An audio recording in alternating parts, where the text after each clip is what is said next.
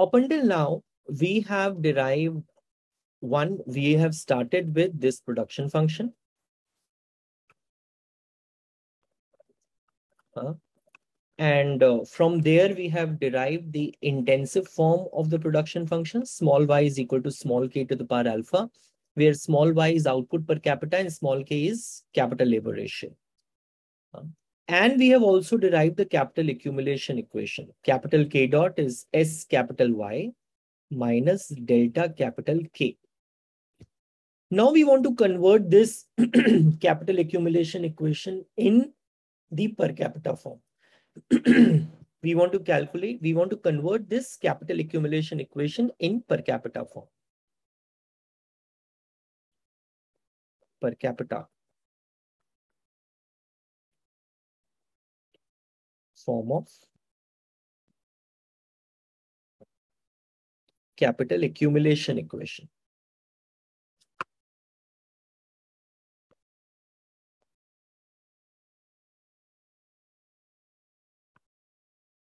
per capita form of capital accumulation equation. Mm -hmm. Right. Okay, now just think about it. You have uh, uh, like this. So capital K dot is equal to Sy minus delta K, right? Okay. Can I take a step back and can I write what is small k? Small k is k by L, right? Okay. can I write what is log of small k equals to, which is log of capital K minus log of capital N? Yes. Okay. Can I take the uh, the time derivatives of both the sides? Yes, I can. So I can differentiate this with respect to time.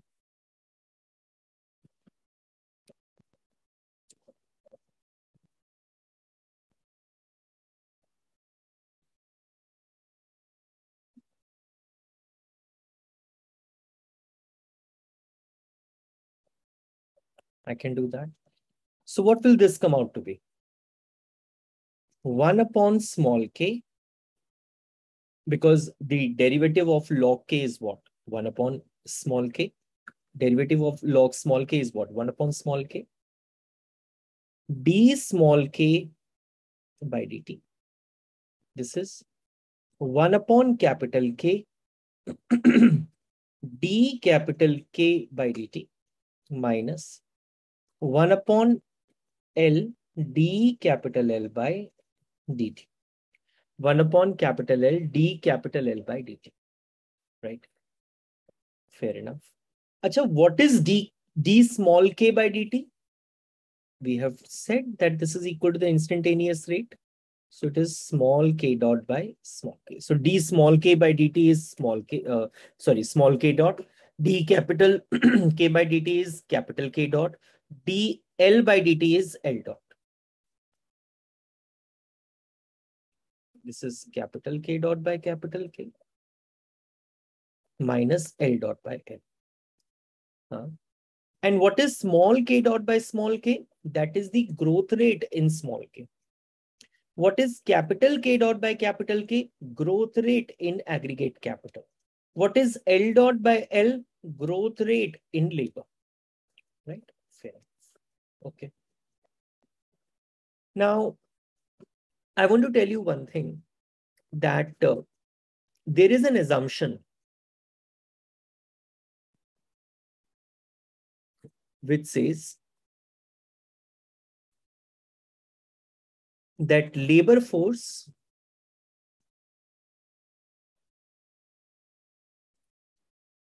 is exogenously growing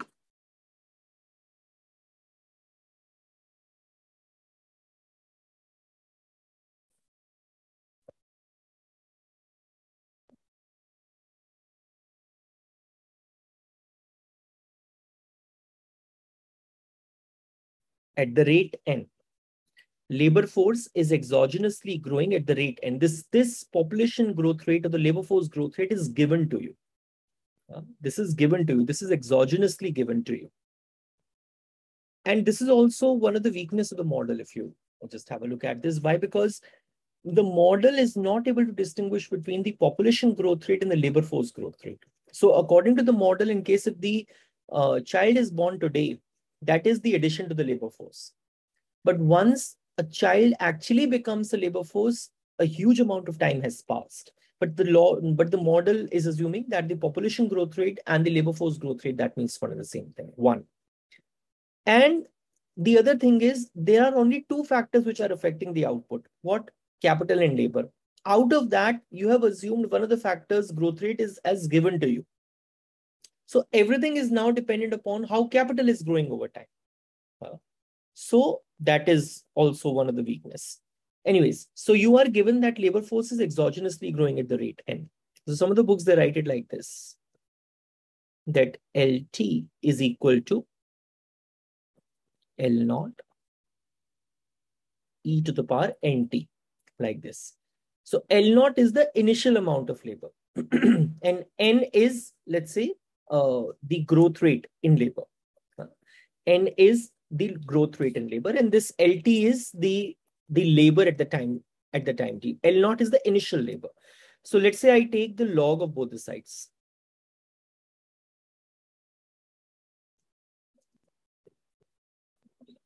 plus log of e to the power nt.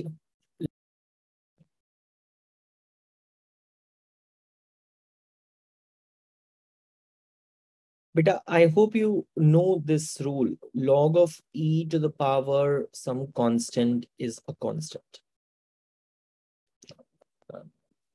You take the time derivatives.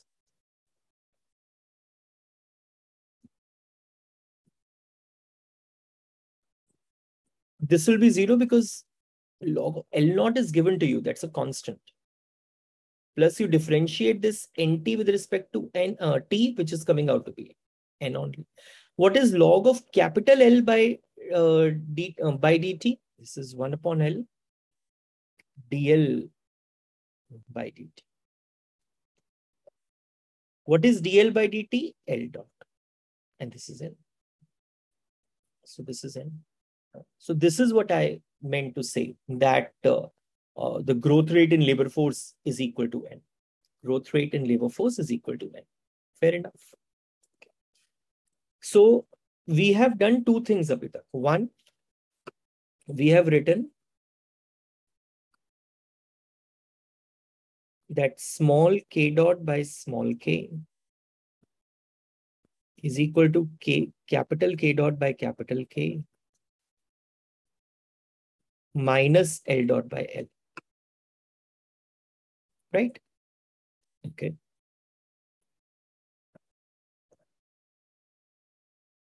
And this is capital K dot by capital K. And what is L dot by L? N. What is L dot by L? N. Okay. What is small k dot by small k? And what is capital K dot? You have written what is your capital accumulation equation, which was what? Sy minus delta K whole upon K, right? Minus, I can write like this, fair enough. So let me write in a proper way. Here.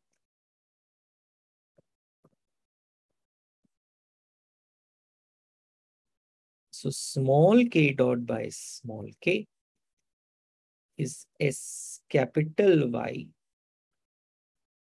by k minus delta minus n, right? Third step, small k dot by small k equals to S.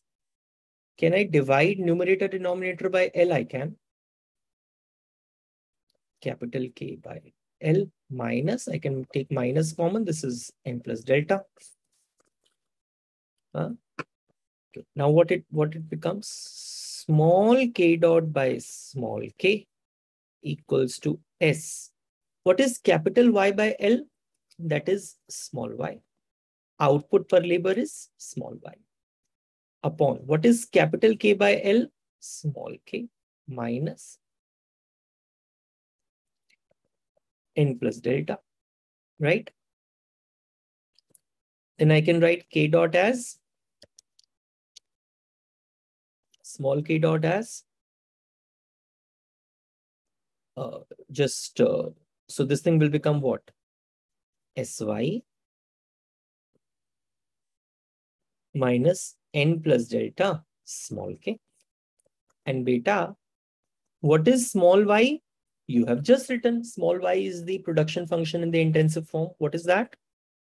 Small k to the power alpha minus n plus delta small k. This is small k dot. This is the key equation of the Solow model. This is important for us, a very important expression.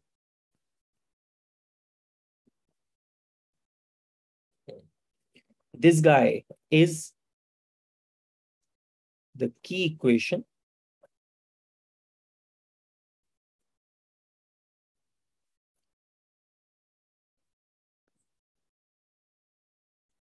of Solow model. This guy is the key equation of Solow model. Okay. How do we interpret this? So let me write the two expressions which we have derived.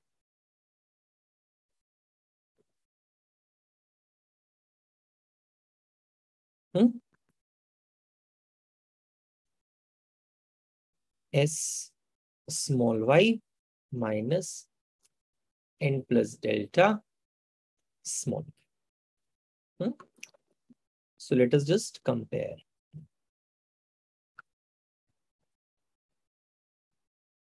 Let us just compare. So you have one, the capital accumulation equation, and this is now capital accumulation per worker equation. This is the key equation of the Solow model. So here, what is capital K dot telling you? Net investment. Here, small k dot is telling you net investment per worker. Hmm? Here, S capital Y is telling you gross investment. Here, a small y is telling you gross investment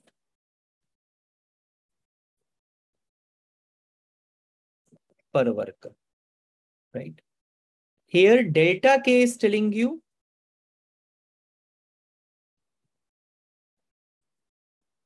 replacement investment or total depreciation, whatever, to keep the uh, replacement investment is replacement investment to keep the capital stock unchanged. Here,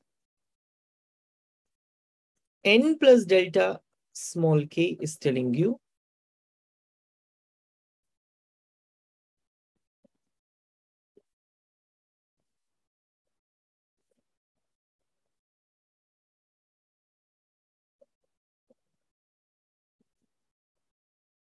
replacement investment per worker.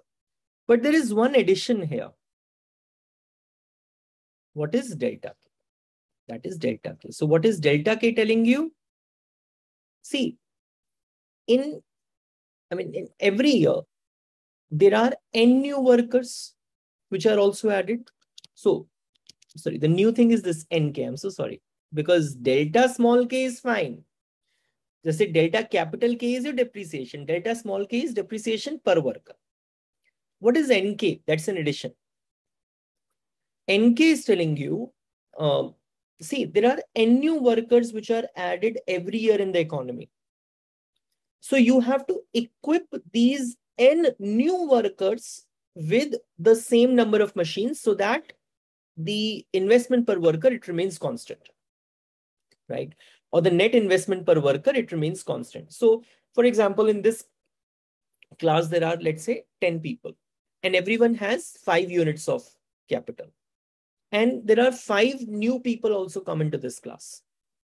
So if you want that everyone should have now five units per uh, of capital uh, each, then those five new workers which have just come into the class, those also should be equipped with five units of capital.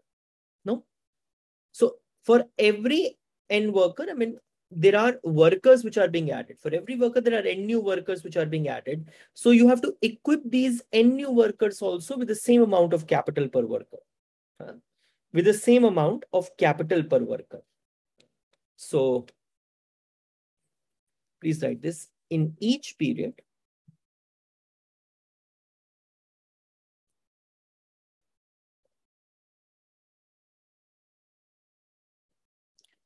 N new workers.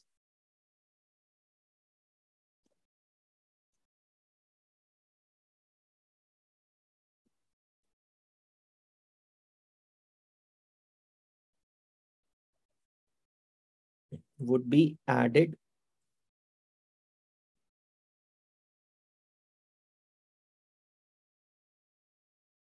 To the economy. Who were not there last period.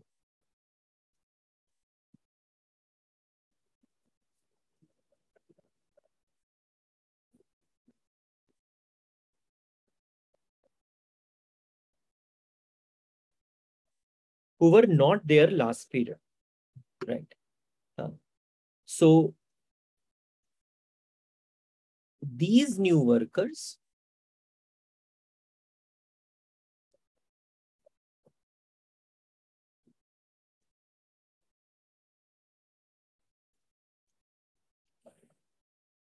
also have to be equipped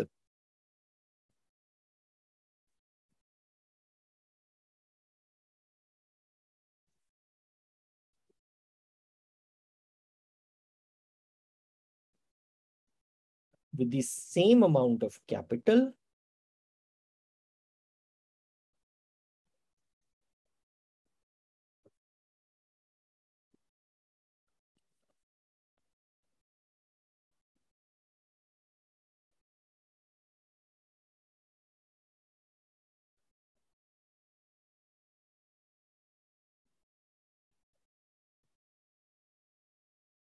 to keep capital per worker unchanged.